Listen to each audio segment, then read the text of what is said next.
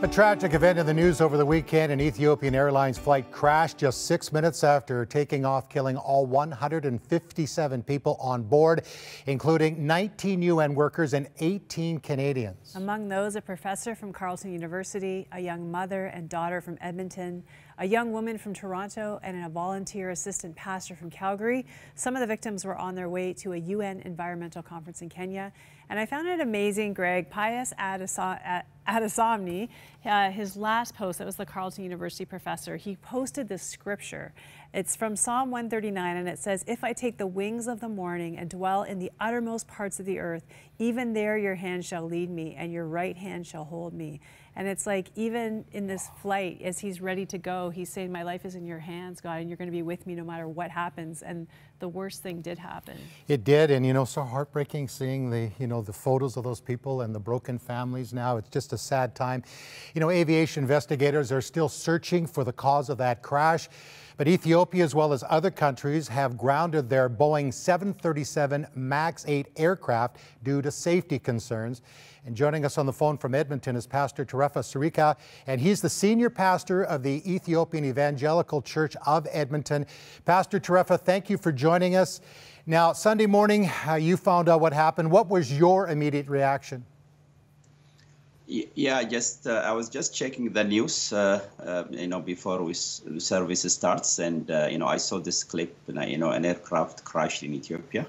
I think my first reaction was disbelief. I thought maybe it, like you know, it's fake news in these days. You know, all kind of news releases are, especially in social media. And uh, but uh, you know, I just you know looked at it, and you know, some, some credible news sources were reporting it, and I was uh, I was really shocked. It's just disbelief. Yeah, it's a very very sad sad thing happened. Yeah.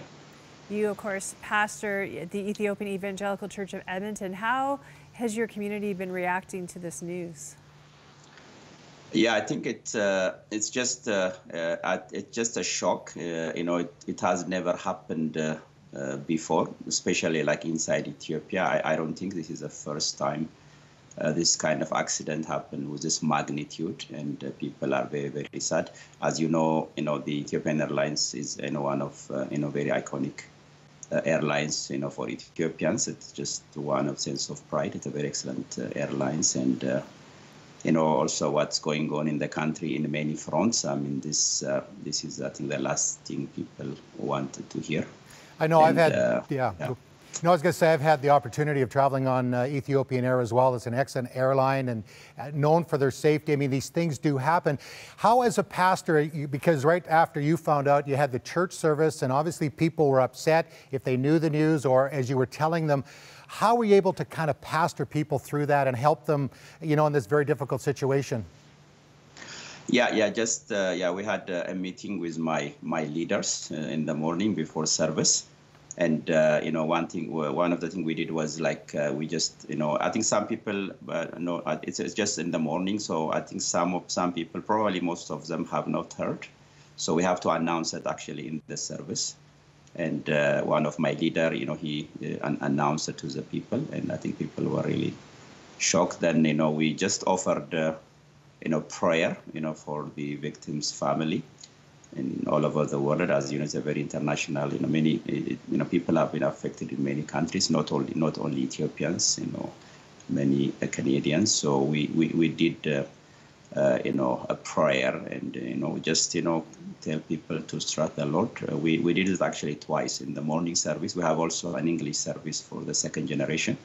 Yeah, we, we were, actually, there was some media also came to our church and uh, we also you know prayed and you know encouraged and uh, just tell people to trust the lord yeah I knew as, did, yeah. soon as I heard it, Pastor, there'd be so many people as well uh, missionaries, NGO workers, UN workers. I've been on many of those flights throughout Africa, and you know there's a lot of people that are there making a difference. And we're going to hear more, of course, of the people who've lost their lives. But we're wondering, you know, we are a people of prayer. And when we don't know what to do, sometimes that's the only thing we know to turn to is to say, God, please come bring your healing, bring your help.